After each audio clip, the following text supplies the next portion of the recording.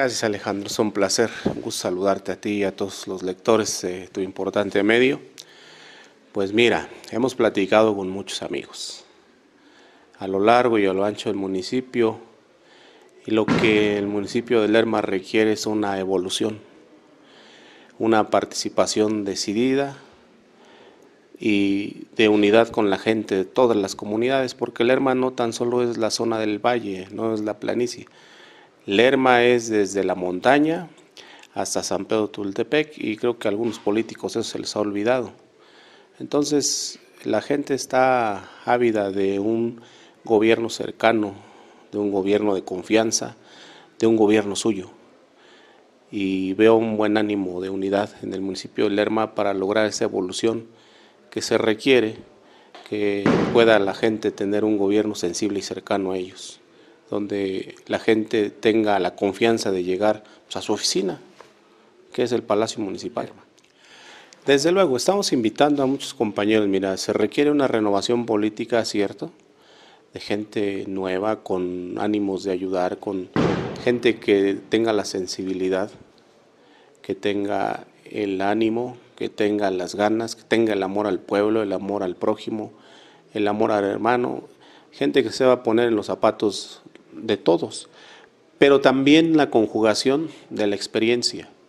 Se requiere una buena experiencia de como tú bien lo dices, de quien ya tiene un oficio político, pero ahora conjugarla, consumarla con la gente que tiene ganas, que tiene ánimos, que tiene buenas intenciones, que quiere hacer buenas acciones, que quiere poner en práctica su capacidad, ya sea profesional o simplemente de aprendizajes empíricos que son de, que son de mucha valía para las necesidades del ejercicio de un gobierno, pero también con la sensibilidad de verdaderamente ayudar al pueblo. Entonces, lo que se pretende construir es un gobierno donde se puede involucrar las tres, un proyecto donde se puede involucrar a las tres generaciones que, que existen, los jóvenes, los que estamos a la mitad del camino y de la gente mayor, porque no puede haber un proyecto incompleto.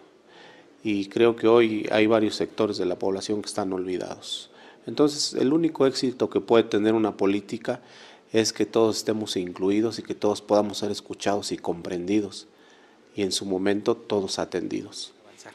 Claro, mira, en estos tiempos tan complicados que vive todo el mundo, que vive nuestro país, bueno, Lerma no es la excepción, cuántos muertos hubo ahora en esta pandemia, y he caminado, he platicado con muchos ciudadanos, se han sentido solos, se han sentido abandonados, no ha habido el respaldo de su autoridad más cercana y ver si se hubiese aplicado un programa de emergencia de apoyo a la economía de las gentes que se enfermaron, cuánto cuesta un tratamiento. Bueno, no había ni quien les recomendara o quien les ayudara a ingresar a un hospital público.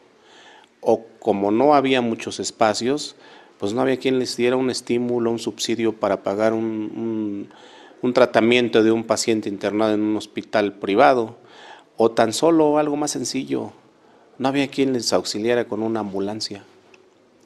Y en ese momento, hasta donde yo recuerdo, hace varios años que nos tocó dejar la administración, por lo menos cinco ambulancias nuevas quedaron y dos o tres que ya estaban en uso.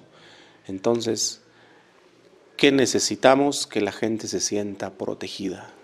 El pueblo, el pueblo de Lerma es importante no puede estar la autoridad ajena a las necesidades de la gente.